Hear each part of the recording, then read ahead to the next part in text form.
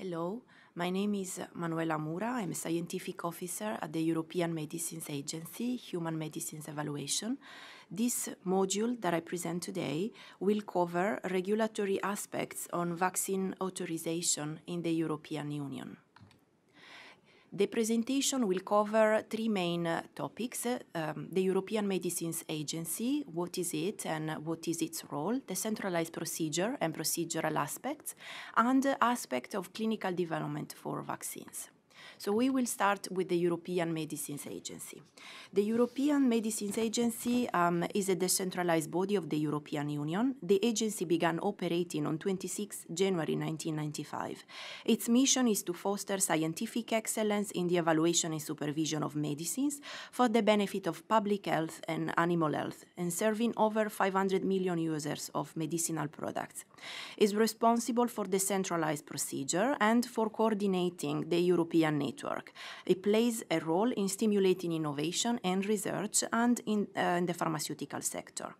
The European Regulatory Network consists of 28 member states, more than 40 national competent authorities, and more than 4,000 European experts. The EMA um, works at the interface in the cooperation and coordination of the member state activities. ESED is responsible mainly for the centralized procedure, which is applicable to eligible human and veterinary products. Of uh, the centralized procedure uh, involves the application, um, a single marketing authorization application submission by companies, which means a single scientific opinion across Europe and a single marketing authorization, which is valid in all the member states and is granted by the European Commission. The EMA does this work uh, thanks to seven scientific committees and coordinates an, a big network of European experts working on scientific advice, procedure assessment, scientific guidelines, scientific guidance for pediatric development. Is also responsible for coordinating many activities, including pharmacovigilance activities, inspection, monitoring of safety of vaccines, etc. Has a key role in transparency in database creation and maintenance together with the member state and other stakeholders. Is also responsible for referral or arbitration procedures, which may involve products that are approved by member state, but they refer to the agency for advice in, in certain topics. This is an outline of the main committees. As I said, there are seven in total. Here, for example, is the CHMP, the Committee for Human Medicinal Product, which includes one uh, representative per member state, plus uh, five co-opted members, the PRAC, the Pharmacovigilance Risk Assessment Committee, the PDCO, the Pediatric Committees, and so on. You can peruse the slide as you want. This slide is showing the interaction by the CHMP, the Committee for Human Medicinal Product, with a, number of uh, working parties and scientific advisory groups. These are all groups of experts dedicated to specific topics which support the CHMP and the assessment of medicine and um, for specific scientific topic. In the orange circle, you can see that there are a number of working parties which are standing working parties. They meet once a month. They include some of them um, one representative per member state. For example, we have the Quality Working Party, the Biologics Working Party, which, for example, works on quality aspects of vaccines, and the Scientific Advice Working Party. The green circles include uh, a number of working parties which um, cover many aspects, as you can see, many topics, but among which one is specifically dedicated to vaccine, the Vaccine Working Party. And then you, in the outer circle, you find a number of SAGs. The SAGs are scientific advisory working um, scientific advisory groups which are dedicated to specific topics and there is one specifically for vaccine the SAG vaccine the SAGs are called ad hoc so for discuss scientific uh, matter uh, uh, for specific topics and the difference between the SAGs and the working parties is that SAGs include experts which are outside of the regulatory network the EMA is not responsible for evaluating all the medicine in the EU. We will see later on which medicines. Is not responsible for controlling advertising medicines for research and development of medicine price and reimbursement etc clinical trial approval for example. All of these uh, aspects are set in article 1 of regulation 726 2004 this slide is giving you an overlook of all the procedure available in Europe for marketing authorization. We have the centralized procedure for which the EMA is responsible, and we have the mutual recognition procedure and the decentralized procedure as well. The decentralized procedure is at the level of the member state. Every member state is responsible for uh, a, an authorization of a drug in their own territory. The mutual recognition procedure is when a member state has a scientific opinion and authorization on a product, another member state can use the same assessment, uh, recognizing the value without, uh, in their own country, without having to start again from scratch with the same assessment. Uh, the aim of this is to um, improve the uh, utilization of resources, is to harmonize scientific opinion across Europe and to harmonize the information that is provided to doctor and patients as well. Now we move to the centralized procedure. These are procedural aspects. Um, the centralized procedure means that uh, we have a marketing authorization for a product that is valid across Europe, and the product is called CAP, centralized, centrally authorized product means that we have one invented name and one common labeling in Europe, which is translated in 23 languages um, and comprise the summary of product characteristic or SMPC, the user package leaflet, and the package labeling. The maximum time limit for evaluation is 210 days from validation to opinion, and this is set by the legislation. The centralized procedure is not open to all products, but is reserved to innovative products. Some are uh, legally obliged to use the centralized procedure, the so-called mandatory scope, but it does not apply to all substances in established indications. Of course, there are exceptions to this, and this is so-called optional scope. I will detail in the few uh, in the later slide. But an example, aspirin for headache is not supposed to come centrally. However, in a new indication indication, for example, aspirin for Alzheimer's disease, then in this case it would be eligible for um, the uh, optional scope. The eligibility is of course discussed by the CHMP. Products eligible are defined per legislation, and this is Article 3, an annex of Regulation 726-2004, which indeed establishes the mandatory scope and the optional scope. This is the mandatory scope, which applies to NAS, that is uh, new active substances of the following disease, autoimmune disease and other immune dysfunction, viral diseases, acquired immune deficiency syndrome, cancer, neurodegenerative disorder, and diabetes. But it also applies to um, new active substance or known active substances provided that they belong to these three categories. They are medicinal products developed by biotechnological processes, for example, recombinant DNA technology. They are, they are ATMPs, which is Advanced Therapy Medicinal Product, and is defined in Article 2 of Regulation 1394-2007 or they are medicinal products which are designated as orphan pursuant to Regulation 141-2000. The optional scope, as set in Article 3.2 of Regulation 7-2004, um, includes products that can come are eligible for the centralized procedure if they contain a new active substance that is not uh, listed in the annex of the regulation and are not yet authorized in the community or it's a known active substance, but for which uh, the company can justify a significant therapeutic, scientific, or technical innovation, or it's in the interest of patient health at the community level to be centrally authorized. This is just a slide showing you the structure of the EU marketing authorization application, which is based on the Common Technical Document or CTD, includes five modules. Module one is administrative and regional information, includes the risk management plan and the pharmacovigilance system. Module two includes the overviews and summaries for modules three to four.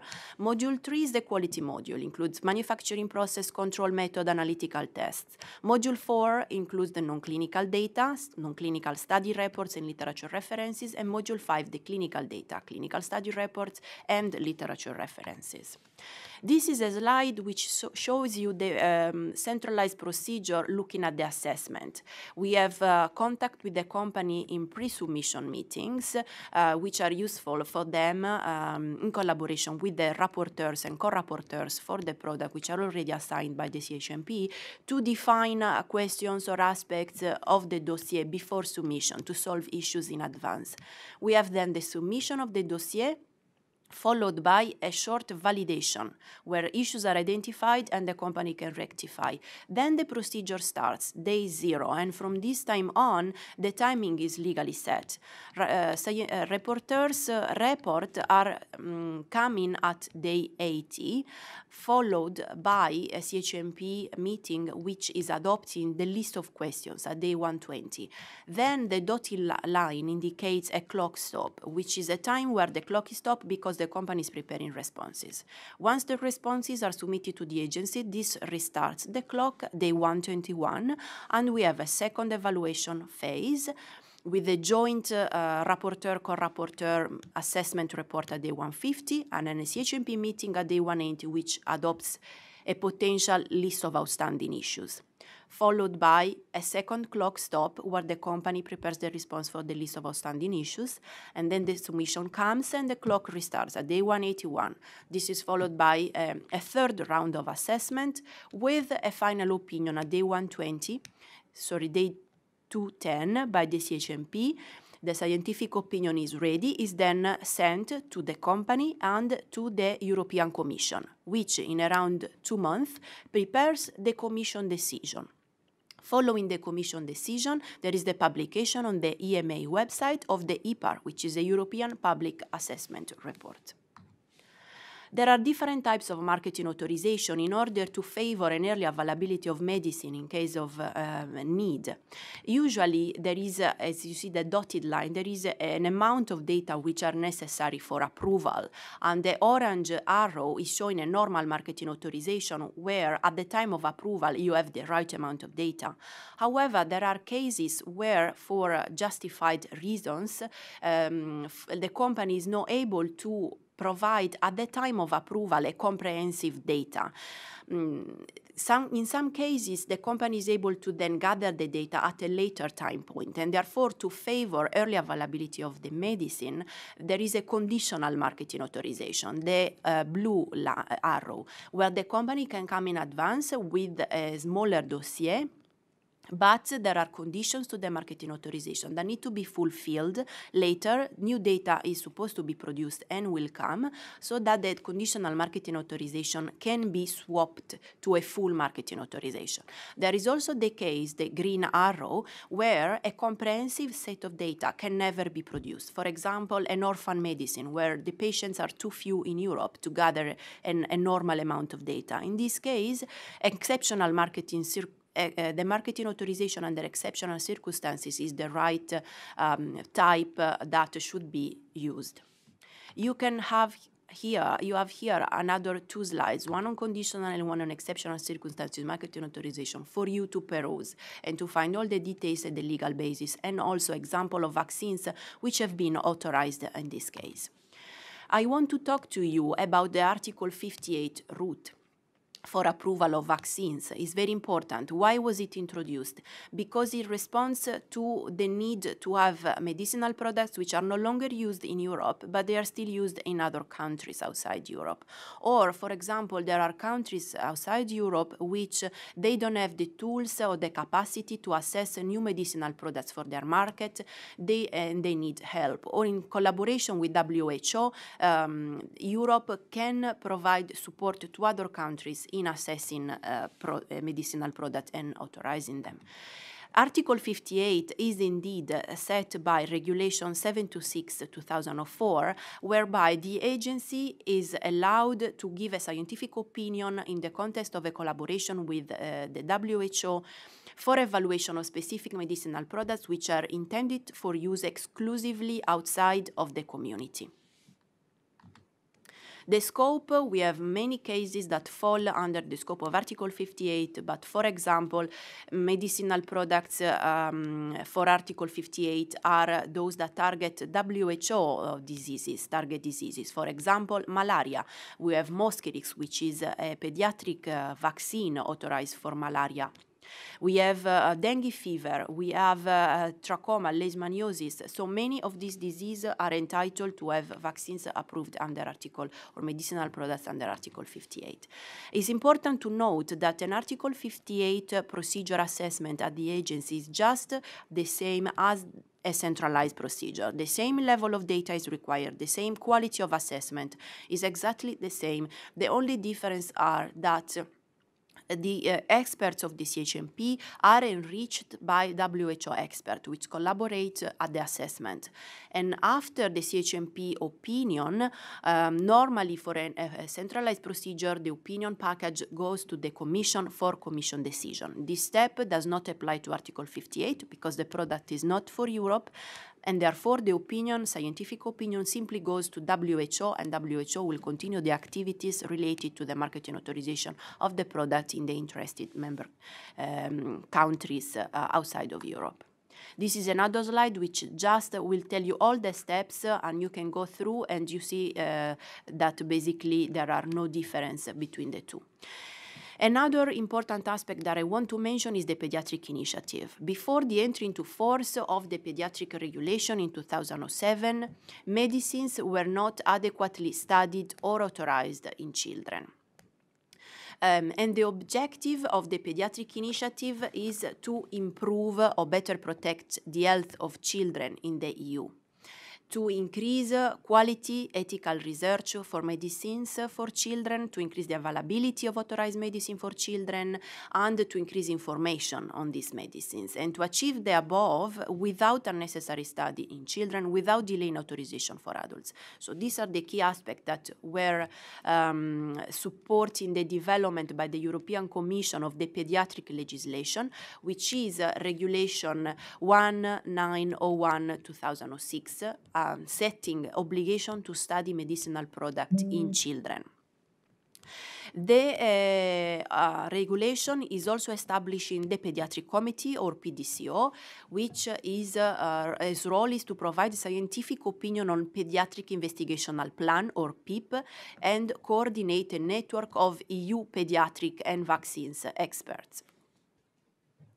The Pediatric Investigational Plan is a development plan to ensure that the necessary data are obtained through studies in children to support the authorization of a medicine for children all um, these applications, a, a, pediatric investigational plan is mandatory for new medicine. This is set in Article 7 of the regulation.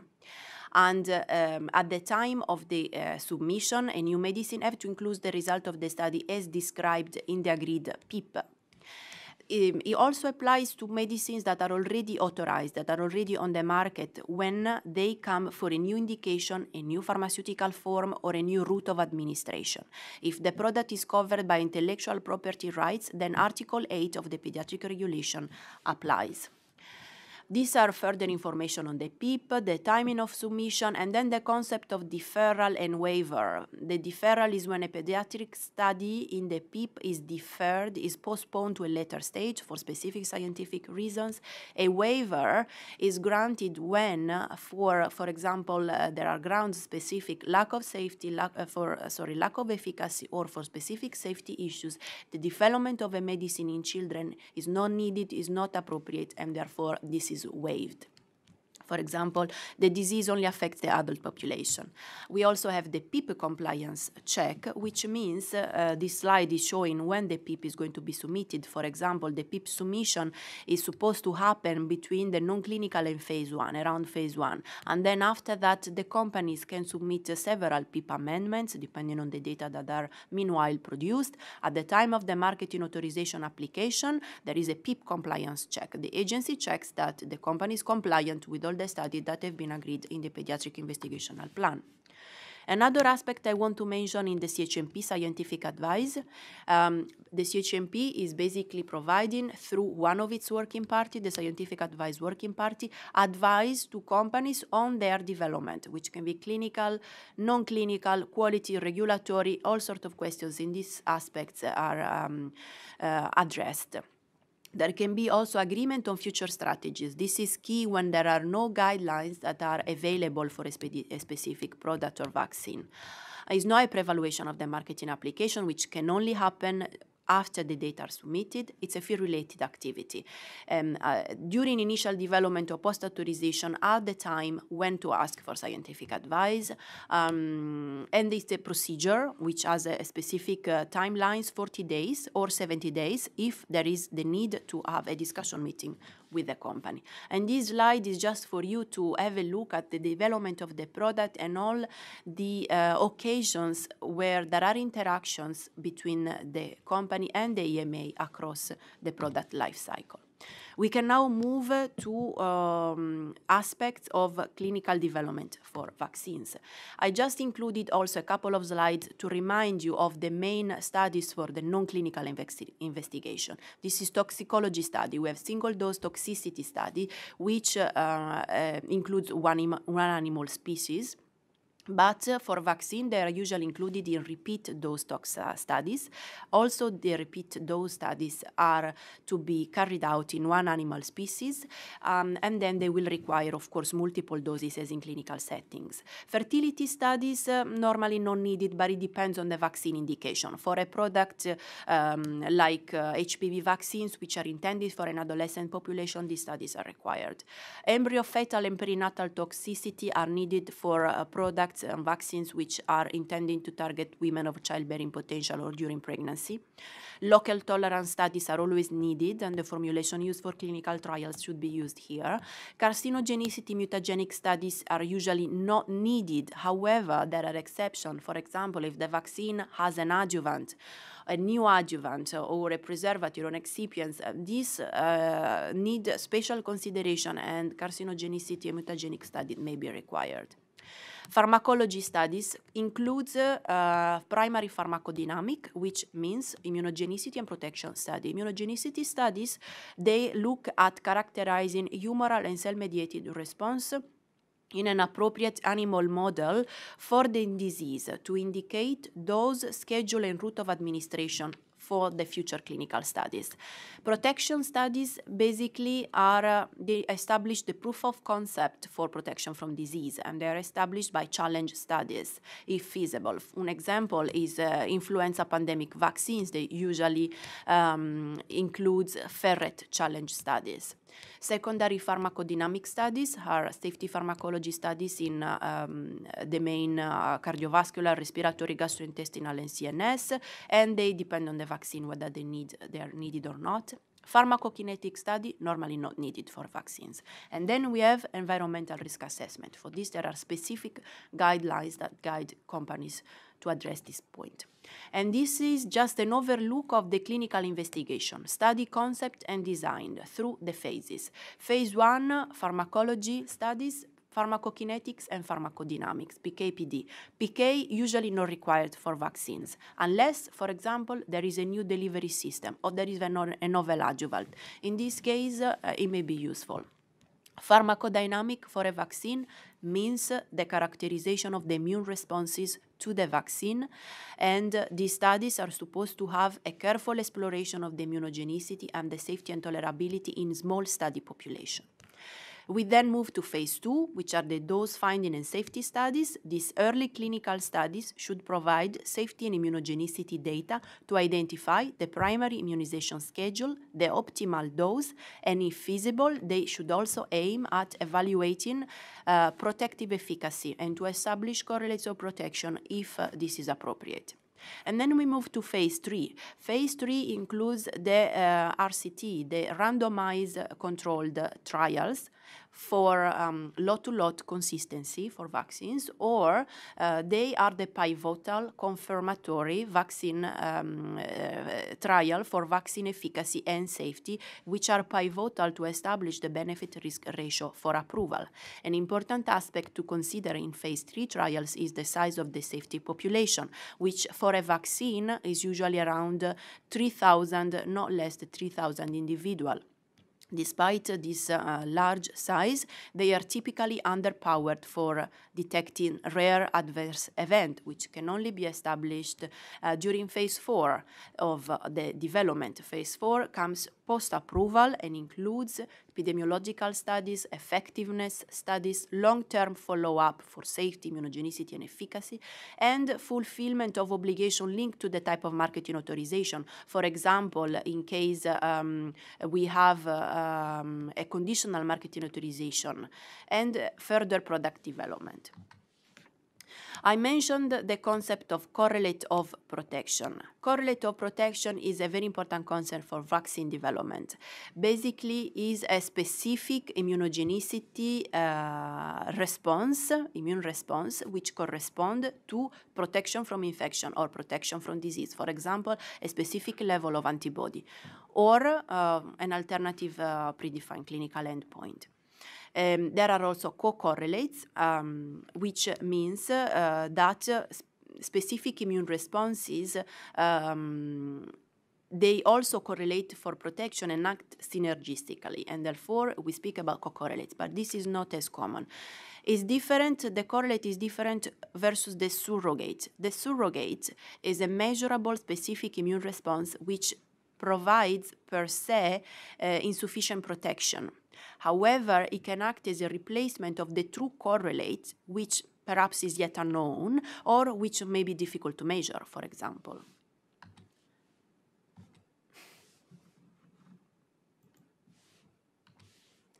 This slide is showing the uh, essential aspect of the most important studies for clinical development. Immunogenicity studies are, um, the essential immunogenicity studies are to be conducted pre-authorization and they include dose finding studies, which ideally should be performed in the target population, but sometimes, um, even for pediatric vaccine, there is the need to have a pilot in healthy adults.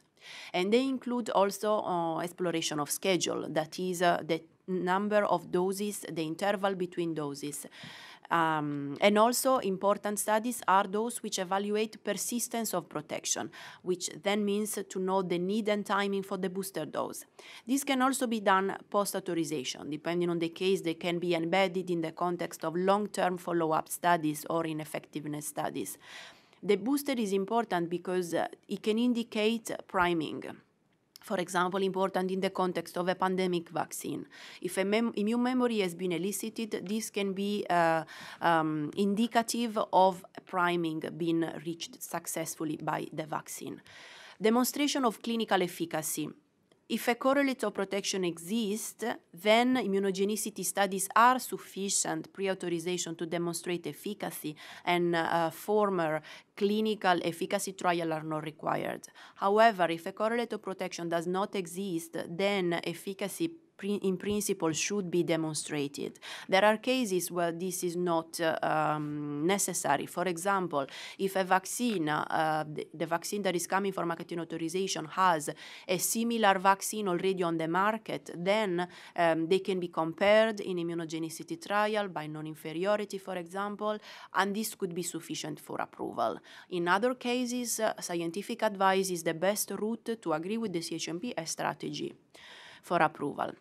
Of course, the golden standard are by phase three clinical trial um, which are blind, randomized, controlled trials, placebo controlled or active controlled, depending on the vaccine, depending on ethical considerations, with predefined clinical endpoints. They can be powered for superiority or non inferiority. Superiority, for example, if we have an adjuvanted vaccine, which be, need to be authorized and is compared versus a non adjuvanted vaccine. In this case, superiority may be required. Otherwise, non inferiority could be sufficient. Clinical endpoints are key to be looked at that, of course, for a, a randomized trial, and uh, usually they look at prevention of disease. The methods for the case definition you, for example, laboratory confirmation of the infection and the method for case detection are extremely important and they will be looked at during the assessment. Likewise, the population for analysis, it could be per protocol population or ITT intention to treat population, depending on whether or not you include uh, pro, uh, protocol violation. RCT is a randomized trial means that efficacy is demonstrated in a very controlled settings and therefore for vaccines post-authorization phase is extremely important too because it includes epidemiological studies or vac uh, vaccine effectiveness studies. Vaccine effectiveness um, it's reflecting not only the direct effect of the vaccine, vaccine induced, but also an indirect protection, which is population related and is established during the routine use of the vaccine. It can provide useful information in addition to pre authorization estimates of vaccine efficacy. However, it has to be noted that the risk of bias with this type of studies is, is considerable, and therefore, this implies a cautious interpretation of the data. It may provide useful information also on the most appropriate use of the vaccine, for example, the need for a booster dose. It may be estimated from observational cohort studies, which can be prospective or retrospective um, or case control studies. Um, usually these are retrospective. In the case of the, the observational cohort study, we have two cohorts that are followed up, one vaccinated, one non-vaccinated, and they're followed up for development of the disease. The case control studies are usually retrospective. People with the disease of interest are matched with the control group who do not have the disease, and then retrospectively you determine which individual from either group were exposed to the vaccine. Of of course, for vaccine effectiveness is key the coordination with public health authorities where the vaccine is used and um, where there is a reliable infrastructure and a surveillance system which are able to identify cases. In the post-marketing uh, is also essential the pharmacovigilance aspect. At the time of marketing authorization, the company have to agree with the CHMP on a risk management plan, which includes a pharmacovigilance plan for the product, a risk management plan, and risk minimization activities. Criteria for immunogenicity assessment. When uh, looking at the immunogenicity studies, the data should be presented in a, in a certain way. Humoral responses that is antibodies, will have to show the percentage of responders with the 95% control um, confidential uh, interval. If a correlate of protection exists, the percentage of responder equal to seroprotection rate. If doesn't exist, then a seroconversion rate can be used, for example. For many childhood vaccines, um, there are correlates of protection. Serological parameters provide reliable evidence for protection or for immunity. Also, uh, antibodies need to be um, presented in form of geometric mean titers, GMTs, or GMCs, geometric mean concentration, and pre-post vaccination titers, including ratio pre-post vaccination titer. Reverse cumulative distribution distribution curves are also important. They look at the distribution of immune response across the population. Test and assay, these are completely different depending on the type of vaccine. For example, we have virus neutralization assay for influenza like uh, or hemagglutination inhibition assay, etc. This varies depending on the vaccine. Cell-mediated immunity is also required and uh, looking at the T cell function, for example, CD40 T cells, CD8 cytotoxic T lymphocyte activation should be uh, shown, cytokine profiles investigated, and Th1, Th2 balance also should be investigated. There are some particularities of combined vaccines we should be taken into consideration. Combined vaccines are vaccines which uh, may include in one formulation different antigens for different pathogens. This is the case for the typical hexavalent uh, pediatric vaccines, DTaP, which include diphtheria, tetanus, cellular pertussis, but also polio, Haemophilus influenzae, um, and of combined vaccine are also those where different strains of the same pathogens are included in the same formulation. And this is the case of another pediatric vaccine, the HPV 9 valent Gardasil 9, or quadrivalent seasonal influenza vaccine, also for children, the live attenuated influenza vaccine, Fluenz Tetra. For this vaccine, um, a careful consideration should be given to immune interference. It's a phenomenon whereby the same vaccine antigen may have different properties when combined with other antigen versus the monovalent formulation.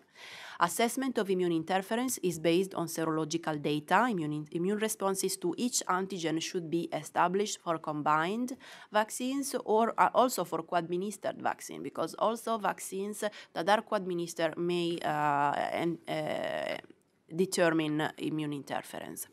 The greatest concern occurs with the primary infant immunization series because there is the need to administer a range of antigens simultaneously and also because there is the relative immaturity of the immune system in infants around especially the first four months of life. The type of study varies depending on the nature of the antigens to be combined. Another aspect to consider is that combination vaccine or co-administration of vaccine can alter the local and systemic tolerability. For example, there can be an increased reactogenicity. So this aspect should also be studied. This is a summary of the key aspects for the clinical development. So what does it need to be looked at? First of all, dosage and number of doses which are needed for the primary immunization, the optimal vaccination schedule, and this is extremely important, especially in the EU because there is a um, considerable variation of schedule across member states. For example, for DTaP vaccines, uh, the PDCO has published recently a standard PIP to guide industries to study condensed schedule, which then can be extrapolated to less immunogenically challenging schedule, and this um, can limit the need to have uh, unhelpful or, or um, redundant clinical trials in children. Another concept that we discussed is that immunogenicity not necessarily correlates with efficacy. This is the typical case of the live attenuated influenza vaccine for use in children in Europe, whereby there is no correlation. In that case, on or when there is no correlate of protection established, efficacy is usually clinical efficacy is usually required to be demonstrated. However, if a correlative protection is established, then efficacy may not be necessary, but also it should be considered that it's not feasible to demonstrate efficacy for all the vaccines. For some vaccines, um, this, is, uh, uh, this is not possible pre-authorization. For example, because the virus is not circulating in the community. This is the case for pandemic influenza vaccines. Other aspect to be uh, ascertained is the persistence of immunity. This can be done also post-authorization and the optimal time for the booster vaccination. Uh, immune interference should be investigated in case of combined vaccines or for vaccine carrying multiple strains, but also the concomitant use of other of many vaccines at the same time, concomitant administration should be investigated. Adverse event following immunization should be uh, collected with an appropriate follow-up window, which depends on the disease on the vaccine, and uh, the aim is to determine frequency of uncommon adverse events, which means those that occur at a frequency of between 1 100, 1 in 1000 it translates into a, a, safety database of at least 3,000 subjects for new vaccines, which is still underpowered to detect rare adverse events. Post-authorization measures are key for vaccine. These are described in the pharmacovigilance plan in the RMP, which is agreed with the, the PRAC actually at the time of opinion, and includes effectiveness studies, long-term follow-up immunogenicity and safety studies, for example. Here is just some example of recently approved pediatric vaccines. Mosquirix is one of them, a very important uh, vaccine for immunization of children from 6 weeks to 17 months against malaria. And uh, this is the case of a scientific opinion in collaboration with WHO under Article 58, is intended to be used exclusively outside of Europe. Another vaccine is Gardasil 9. Gardasil 9 is indicated for active immunization of individual from the age of 9 years onwards against uh, the uh, listed HPV diseases like cervical cancer or condyloma. Vaxelis is the most recent approved vaccine, um, is intended for primary and booster vaccination in infants and toddlers from the age of six weeks against diphtheria, tetanus, pertussis, hepatitis B, poliomyelitis, and invasive disease caused by Haemophilus influenzae B. The CHMP opinion was in December and is still pending the Commission decision. So we are now reaching the end of the presentation, and this is just to give you an overall summary and a take-home message of what has been discussed in this module. First of all, we have talked about the EMA. What is its role in authorizing medicine for use across Europe, including vaccines? Which are the procedure available in Europe for authorizing medicine with special focus on the centralized procedure for which the EMA is responsible?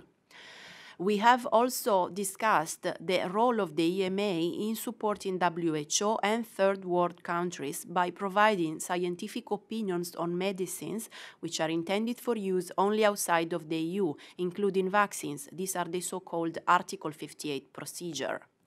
Um, we also gave an overview of key aspects of the pediatric legislation and uh, implications for product development and regulatory applications. And finally, we touched upon uh, key aspects of the clinical development for vaccines. We started from a brief reminder of the non-clinical investigations required and then we moved to exploratory immunogenicity studies, phase one, phase two, to phase three, um, randomized clinical trials for efficacy and safety. And then uh, we gave some examples of pediatric vaccines which have been recently authorized by um, the EMA and the European Commission for use in Europe. And with this, I thank you very much for your attention. Here are my details if you want to contact me uh, further. Thank you very much.